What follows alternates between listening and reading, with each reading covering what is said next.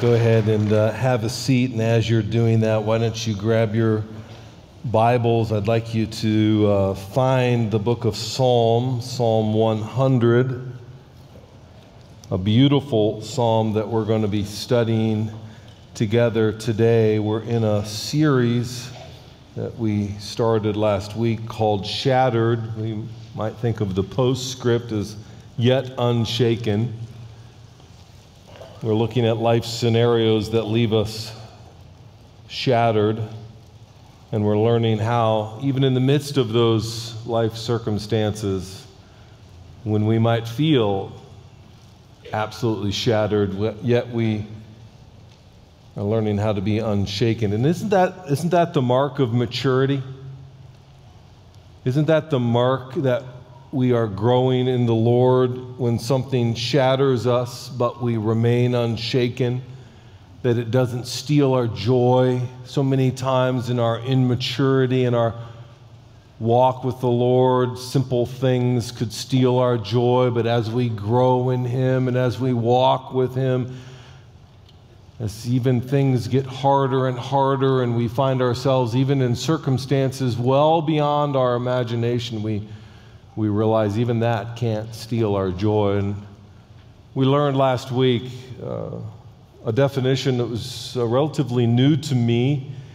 Uh, I love this definition of joy a confident assurance that God is in control and what He is doing is best, which tells us that regardless of the circumstance and regardless of the mess it might be and the mess it might be making in our life, that we have this confident assurance that God is the one who's in control and He is doing what is best. He didn't consult me, I was not invited to the meeting. He chose the course for me, and I have a confident assurance but how can we be unshaken even when we're shattered? We're learning that as we work through the scriptures together. Last week we looked at I, what I think is very important in, the, in many of our lives we experience. I experience it in my life, you experience it in your life, and that's shattered relationships. And we learned okay, well, what's the process to reconciliation? How do we go through this in such a way as to honor the Lord, even though someone may have wounded us deeply?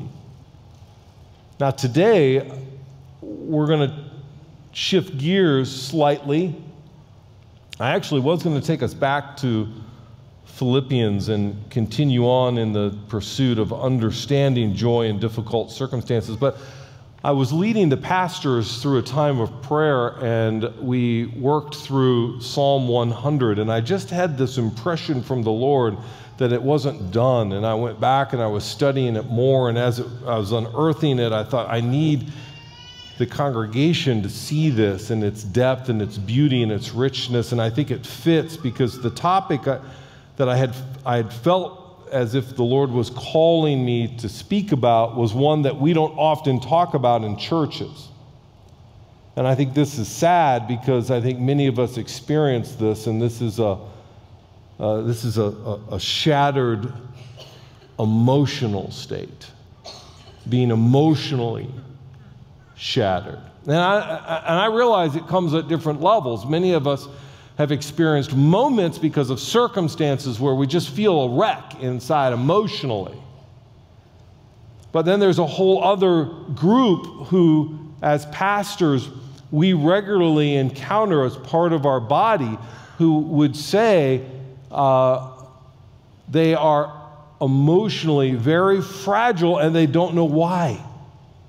And, it's, and, and, and, and, and many times they can't even explain the area they just they just as they've grown older they feel it more and more intense.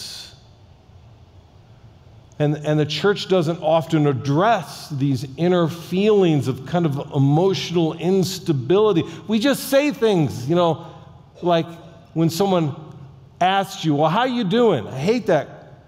I'm i'm we lie to each other. Fine. Stop making me lie to you We got to find a different question to ask one another. You know, I mean, because many of many of us, you know, at times we'll go through and we'll be like, we just feel fragile. And I was thinking about that.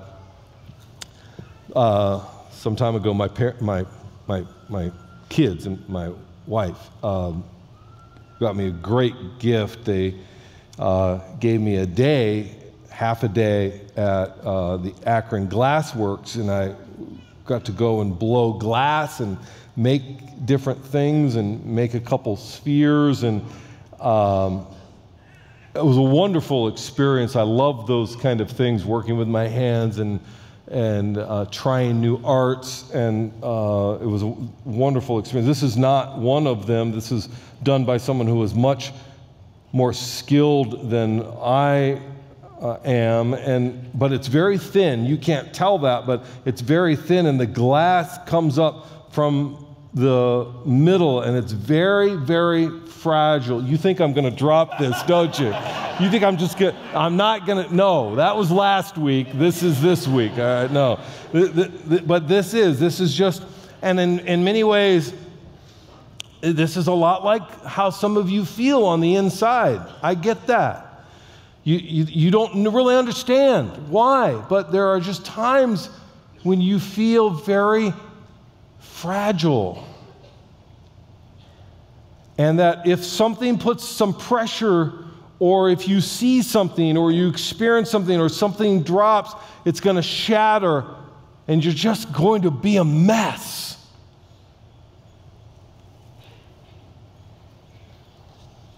And what causes that?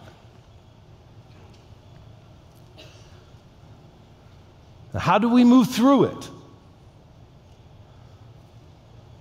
Well, the beautiful thing is you're not alone.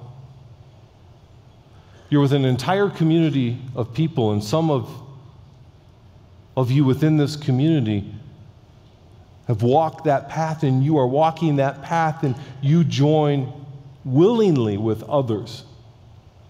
Some of you have come over through that, and, and you say, I, I will walk alongside. We have the comfort of Scripture where the, the church and the people of God of the past have felt this way. We have wonderful examples. Isn't it beautiful that we have a book filled with people who are real? I, I love to read the Psalms, and David, who's so real, he says, My spirit was overwhelmed inside of me. He's, he's, he, as well as he can often articulate things in, in, in, few of the Psalms, he almost trips over his own words because it, you can feel the inner tension and fragileness of this man. Job said, I'm not at ease, I, I have no rest. Elijah was depressed, Jonah was anger, angry, Moses was betrayed, Jeremiah struggled with lonesomeness. What do we do? What do we do when we have these internal feelings? Well, I, I'm going to teach you a principle that sounds absolutely counterintuitive. It's not my principle, it's Scripture's principle, it's God's principle. And so we need to take good note of this. If this was just my principle, it would be man's wisdom. You didn't come to hear man's wisdom, you didn't come to hear psychology. You came to hear, well, what does God tell me in these times? See, I could give you all kinds of pop psychology to tell you what you could do to soothe it, but it would be temporary and it would be non effective. But if we listen to what God has to say, even if it's counterintuitive to what we might think we should do or want to do, if it's, if, if it's what God tells us to do and we boldly do it, we find the results will be exactly what he has predicted that he will move us through those troubled waters. You say, all right, well, what's this principle? All right, the principle is this. You might want to write it down. When, and you could fill in the blank, when I feel sad, or when I'm lonely, or when I'm fearful, or when I'm unsure, or when I'm shattered, I rejoice in the Lord. That's it. Very simple, When I'm feeling these, this way, when I'm feeling these feelings, I rejoice in the Lord. Now we go back to Scripture and we find out this is exactly what the people of God practiced. Following the prompting of the Spirit of God, this is what they practiced. Job said, Even though he slayed me, what? I will hope in him. David, psalm after psalm, pours out his heart, sometimes even complaining, even lamenting. And at the end of the psalm, almost every single one, he ends praising God, rejoicing in God. Jeremiah, he's in a cistern, and the cistern, which normally held water, has turned to mud. He's lowered down into this. He's up to his waist and maybe even up to his chest in mud. And he's thinking, This might be my entire life. And yet, this is when God reveals to him and says to him, Jeremiah, I know the plans I have for you, declares the Lord plans for welfare, not for evil, to give you a future and a hope. See, we always take that out of context. Jeremiah was in the depths of despair and loneliness, and God comes and interjects a future. And what does Jeremiah do? He begins to praise God. And then we have Habakkuk. We studied Habakkuk a few years ago. What a tremendous book. And do you remember what Habakkuk did? Habakkuk was facing annihilation and total invasion by the Babylonians. And he's having this dialogue back and forth with God, and finally he relents. He actually, he actually follows the call of God. And he says in chapter 3 though the fig trees should not blossom, nor fruit be on the vine, and the produce of the olives fail, and the fields yield no fruit, and the flock be cut off from the fold, and there be no herd in the stall. Even though there's this catastrophic economic collapse, yet, yet, he says, I will rejoice in the Lord. I will take joy in the God of my salvation. What is that? That's even though blank, I will rejoice in the Lord. You, say, well, why, why do we praise God when we're shattered? Because I'll tell you why, because it overpowers the circumstance. It overpowers the emotions that are welling up inside you. I'll tell you why. It reminds you of what you know rather than what you are feeling. And so, what does God call us to do? He says, Praise me. Praise me even in the midst of being shattered. This is why I brought you to this wonderful little psalm, Psalm 100. It's only five verses, but it's filled with such wisdom and depth. It will encourage you, but I want it to sink down deep. So we're going to read this, all five verses, together as a congregation. I'm reading out of the ESV. It will be on the screen behind me if you do not have this translation. In honor of what God has written and in honor of who He is, I think it would be appropriate for us to stand. So let's, if you are able, sensitive always of that. Will you stand and let's read this together, beginning in verse 1. Make a joyful noise to the Lord, all the earth. Serve the Lord with gladness. Come into his presence with singing. Know that the Lord, he is God. It is he who made us, and we are his. We are his people and the sheep of his pasture. Enter his gates with thanksgiving and his courts with praise. Give thanks to him, bless his name, for the Lord is good. His steadfast love endure forever, and his faithfulness to all generations. Can you say amen to that? Amen. All right, go ahead and have a seat. I want you to see just a few things before we dive down. We're going to look at seven actions for shattered emotions. Where do I get these seven actions? Because there are seven imperatives buried in the text. Seven imperatives from God make, serve, come, know, enter, give, bless. All the way from verse 1 through verse 4, there are seven imperatives make, serve, come, know, enter, give, bless. Then there are four approaches to God with gladness, with singing, with thanksgiving, with praises. That's how we approach God. Then there are three qualities about God at the end of the psalm, verse 5. God is good, He has steadfast love. That's the Hesed love, that is the love of God, that is ultimately faithful, never ending. And then He is faithful throughout all generations. That's the psalm in a nutshell. It's often referred to as a practical or practice psalm. Why is that? It's because it shows us how to practice the worship of God. That's what we want. I want to know what it is that God wants.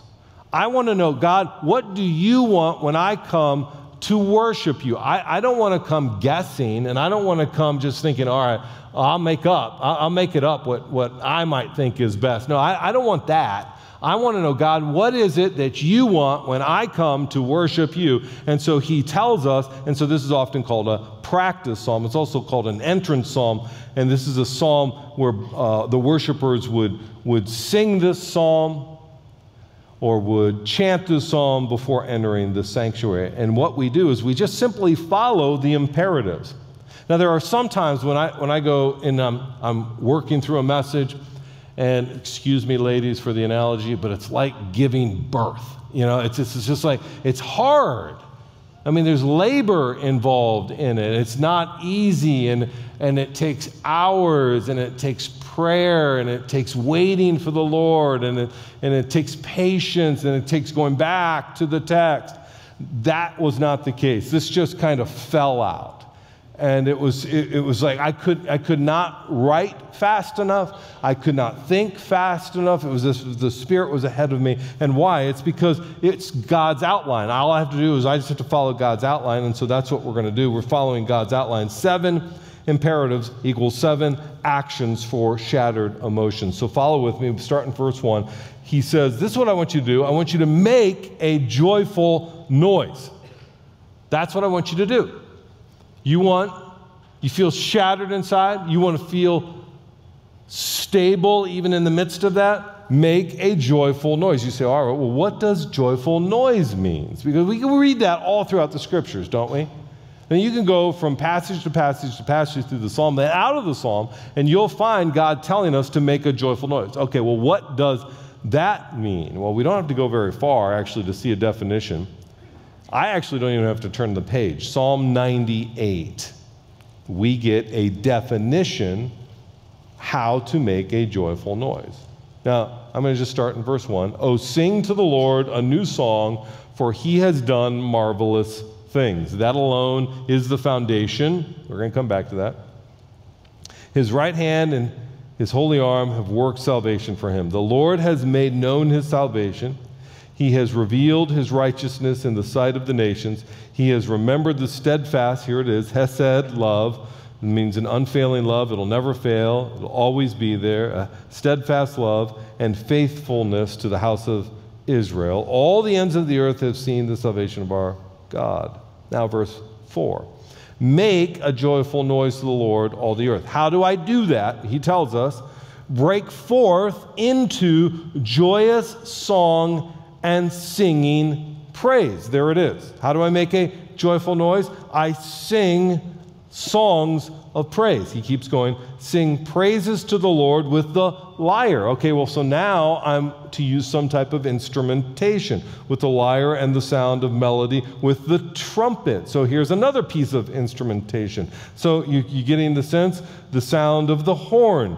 Uh, that's the bagpipes. Make a joyful noise before the King, the Lord. So, this is the call for us to uh, make a, a, a, joyful noise with our mouth, with our singing, and with our uh, ability to create instruments and instrumentation. Now, if we do not do that, if we're unwilling to do that, look, let the sea roar and all that fills it, the world and those who dwell in it. Let the rivers clap their hands. Let the hills sing for joy before the Lord, for he comes to judge the earth. You hear what he's saying? He's saying, Look, if, if my people won't do it, my creation will do it for me.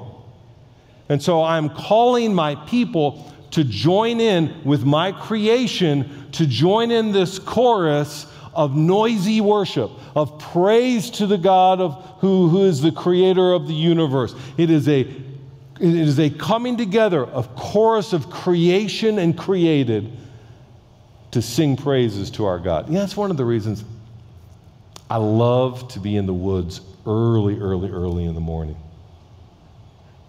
So I love, I love to be a hunter. I can, I can crawl in there early before the sun comes up, before anything is stirring. It's dark, nothing's moving, and you wait. And right before the sun comes up, the temperature drops. And then the sun pops up over, starts the crest of the hill, and you feel the warmth of its rays. And the first sound are the birds. It's always the birds. They're waking up. And then there's the ground critters, they're starting to move around, the squirrels and such. Often the waterfowl will fly overhead. Turkeys are leaving their roost, coming down to the ground.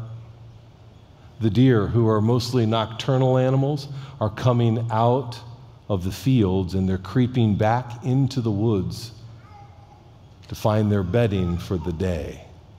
And all these sounds, you start to hear the fish begin to rise out of the water as the sun breaks across and warms the top of the water.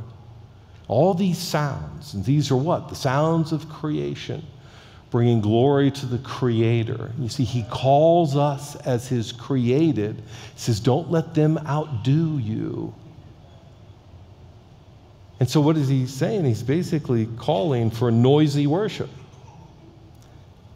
Sometimes when we feel emotionally shattered, it's often because of what's been done to us the psalmist tells us to focus on what's been done for us. Will you notice verse 1 of Psalm 98? Oh, sing to the Lord a new song, for he has done marvelous things. Is there a witness of someone in the house that God has done marvelous things for you? Yes. So you come and you're ready to sing to him. Now, I can already hear, I can hear people saying, yeah, but yeah, but, yeah, but worship should be reverent. And reverent often equals silent. So, just as you know, uh, reverence is used three times in the entire scripture. The word reverent, three times in the entire Bible. Worship with noise 110 times, singing 115 times, praise 207 times, shout 49 times. What do you think God wants from his people? Now, there's nothing wrong with sitting in times of reverence and silence, but the overwhelming majority of time when we gather together, what is it not that we want? What is it that God wants? God wants to know we are alive and we are joyful for the marvelous things that He has done. Amen? And so He wants to hear us in our praise. Now, I get it, I get it, I get it, and I'm part of this. There is this self centered reserve within me, within all of us, that often the reason that keeps us from making joyful noise is we fear that we might appear to others as maybe a little bit undignified, or maybe we appear a little fanatical. You know, I, I, I want to implore you to push past that. in this environment, it's okay to clap your hands. It's okay to sing loudly. I, I do not have a great singing voice, so they don't give me a microphone for a reason. and we don't give some of you a microphone for a reason. But you're the bride of Christ. He wants to hear his bride sing to the bridegroom. He thinks your voice is beautiful. So let him hear your voice. Let him hear the clap of your hand. And if you feel the need to raise your hand and in praise give exaltation to him, and that's not something you've ever done, but you're sensing, I would love to do that, but I don't know. I don't know what others would think of me. Close your eyes and pretend they're not there, and it's just him in the room. I give you permission. You can do that here. Now, listen. Listen, in some environments, sometimes people do some crazy things. You know, uh, uh, they'll take off and they'll like start this march and they'll do these. And I think was it you, uh, Tim? You, I think you said something like you're very comfortable with weird, right? And yeah, so uh, and uh, I love that. I'm kind of I'm I'm comfortable with weird, um, but there's also this understanding, especially when it comes out of Scripture, uh, 1 Corinthians 14, there's this idea that we don't see chaos in worship, all right?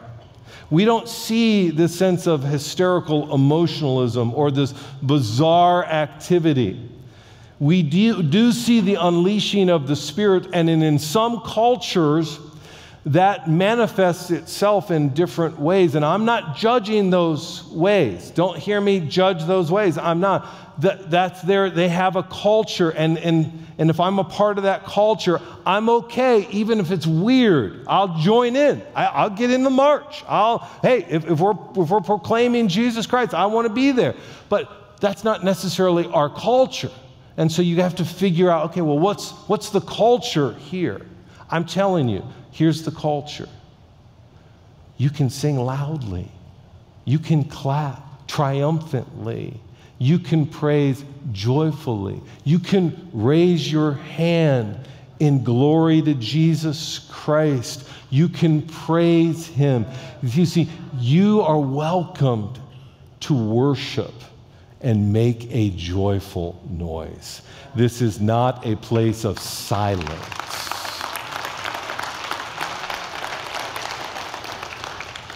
The key is always this a joyful noise does not draw attention to the noise maker. A joyful noise does not draw attention to the noise maker. I join in with my brothers and sisters in a chorus of praise. That's a joyful noise. Now, the psalmist continues and he says this look at it, it's in the latter half of verse 2. He says, Make a joyful noise to the Lord, all the earth. Serve the Lord with gladness. Now, do you see the word gladness? That's the word joy or rejoicing or pleasure. So I say it this way serve rejoicing. It's a redundancy of ideas. That's what the psalmist wants. The idea is the expression of joy.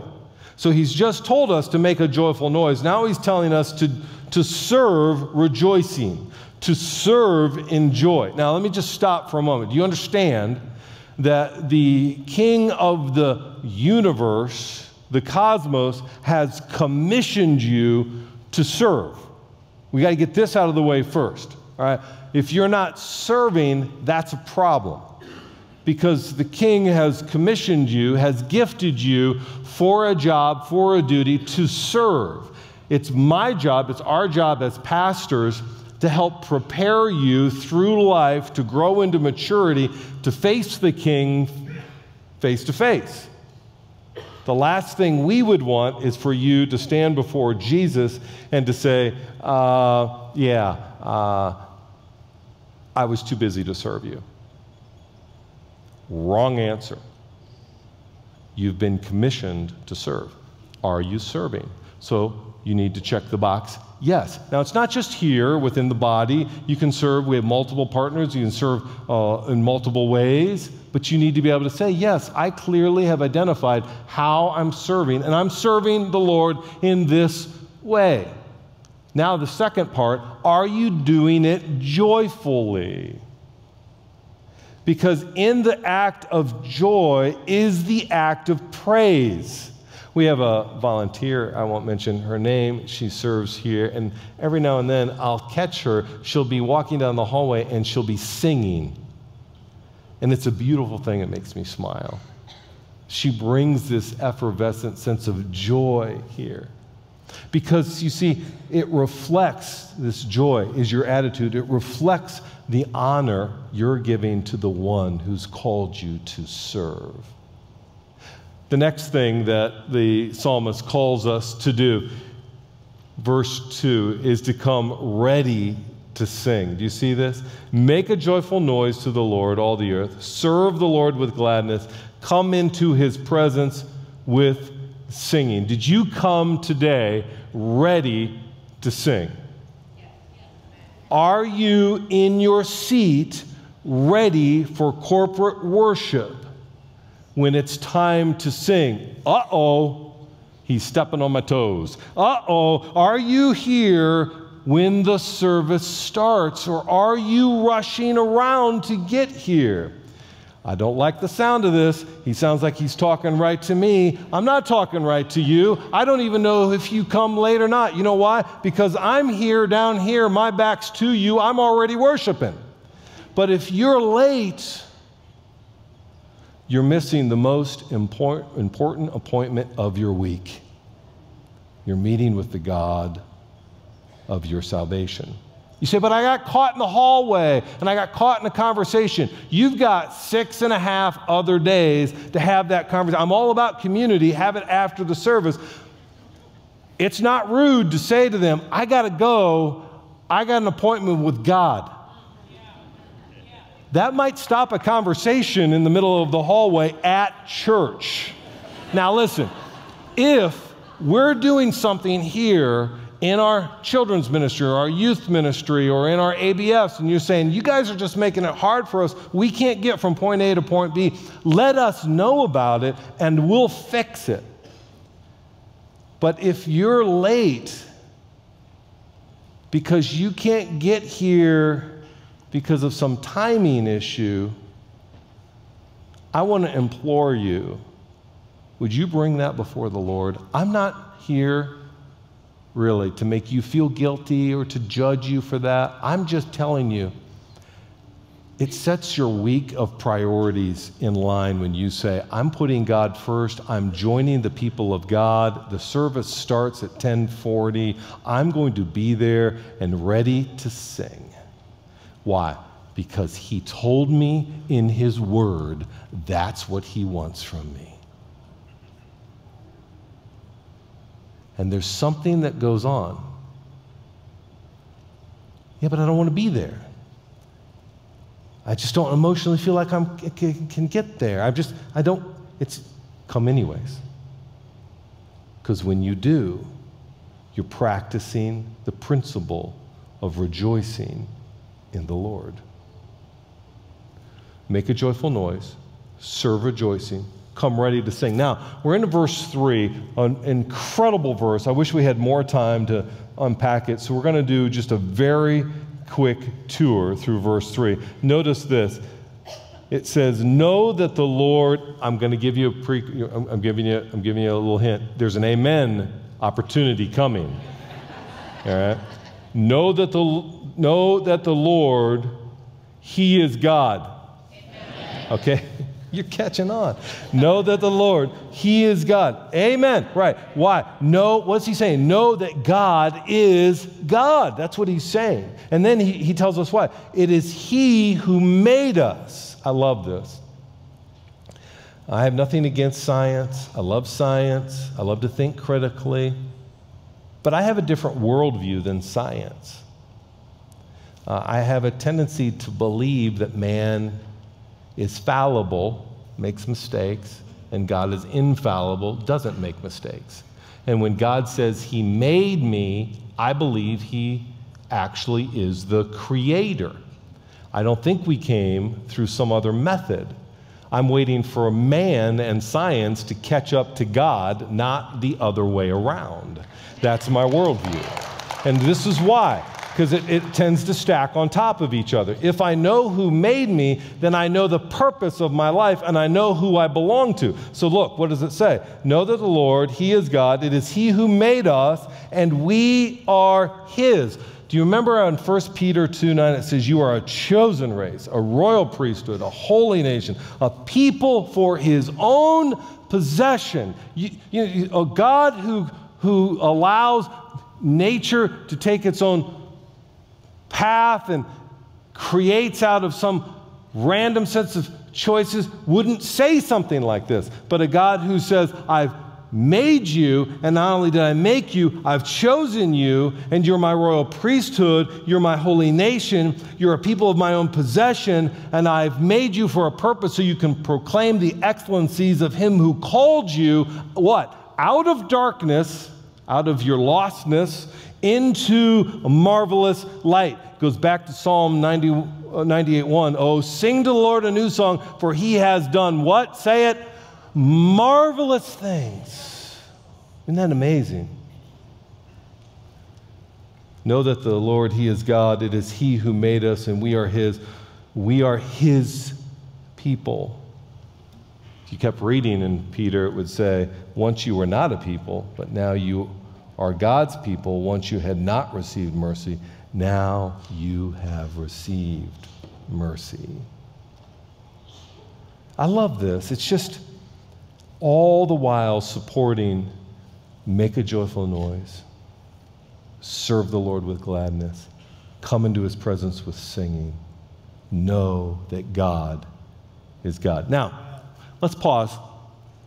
Uh, let's pause from the text for a moment. Uh, let's get some interaction going.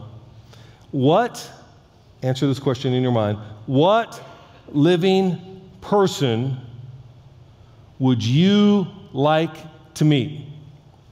What living person would you like to meet? I'm not doing it today. Someday I'm coming into the balcony. I just am too tired today. But someday, what living person would you like to meet? Baker Mayfield. I was going to say, Browns quarterback? Okay. Baker Mayfield. All right. You look scared. I'm not going to talk to you. Uh, who, uh, living person that you'd like to meet? Uh, Donald Trump. Donald Trump. All right. Interesting. Okay. Yeah. Okay. I know Hannah. Hannah, who would you like to meet? Uh, probably Joanna Gaines. Joanna! I like Joanna again. I'd, I'd, rather meet Chip, but I think if you meet Chip, you got to meet Joanna. They're kind of both. All right, so we got uh, we got a few important people here. So here's the question: If I could set this up tomorrow, 11 a.m., you were going to meet these people. Would there be an growing anticipation tonight? What would your attitude be like? Would you bring a gift? Now, with that set in your mind, come to verse 4. Enter his gates. By the way, the gates. Those big doors over there, those big we got to do something about those doors. Those big doors that look like gates that are keeping people out of the church. We got to make those glass or something. But those, yeah, those are the, basically, it's, he's saying, church doors, those are my doors. Enter his gates with what? It says, thanksgiving, and his courts with what? Praise. Give thanks to him. Bless his name. What does that sound like to you? Enter, give, bless. All of these have to do with attitude and action. You see, if you were going to meet these people tomorrow at 11, you would have a certain attitude, you would have certain actions.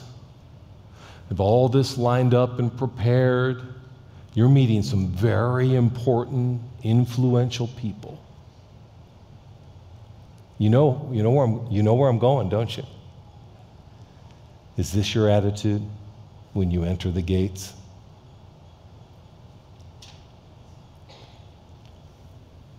Number five, enter worship thankful. Before we enter, here's what we do, beloved. We adjust our attitude to the one we are meeting. If it takes a moment in the car, get my attitude right. If it's Saturday night, I can't go out. I just have got to get my heart right. I have an important meeting tomorrow morning. If it's getting up early, whatever it takes so that you can enter worship thankfully. Number six, then what do you do? You give thanks to God. You see, because your attitude has already been prepped. Now your actions are going to follow. You are set. You are ready. You're in your seat. You're anticipating. You're waiting for it to begin because why? You're ready to give thanks to your God. And that's what He's called you for. And then, number seven, you bless God's holy name. You bless his name. You say, what's that mean? How do I bless God? I thought God blessed me. I was always confused by this. Bless is another term in the Old Testament for praise. I come praising God's name. The psalmist has just done a full circle. Did you sense that? This is all about coming to praise God. Now, don't miss this. Why do we do this? Because verse 5, the threefold qualities of God for the Lord is good. His steadfast love, Hesed, the unfailing, never changing, never to change, never to quit. He's never to run out on you. He's never, ever, ever to stop loving you. The steadfast love endures forever, and his faithfulness to all generations. He was faithful to my great grandfather. He's faithful to my grandmother. He's faithful to my mother and father. He's faithful to me. He's faithful to you. This is our God. You say, All right, will this change my circumstance? No. Will this maybe change that shattered, fragile feeling inside? Maybe not.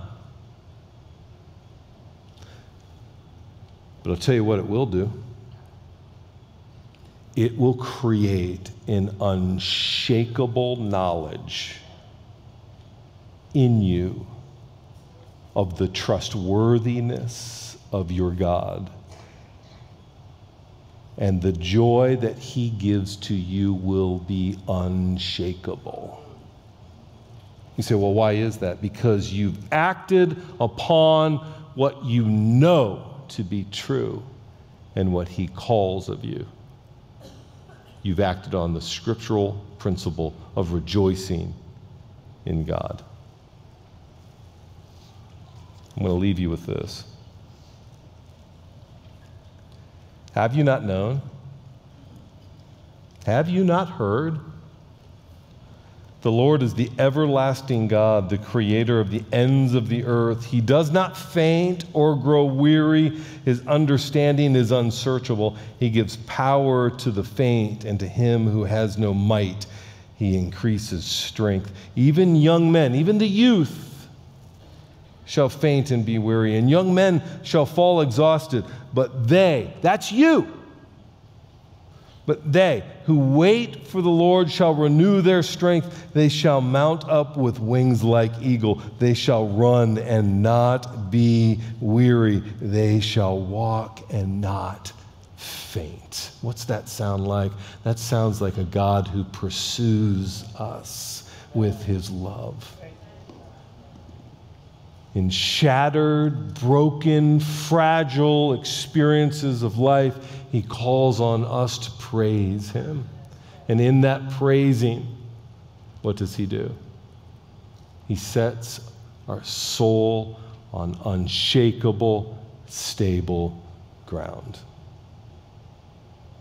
Oh God, we have no other recourse now but to come back to you and to praise you and to thank you. What a God you are that pursues us,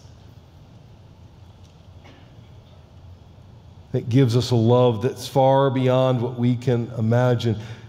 May we not be so carried away by the winds of our emotions that we forget the truth that comes blaring from the Word of God of who we are and who you are and what you are doing in our lives. And may those who sit among us, who feel fragile and maybe even shattered this morning, feel the Spirit within them rising because of the praises that they have sung to you, O God.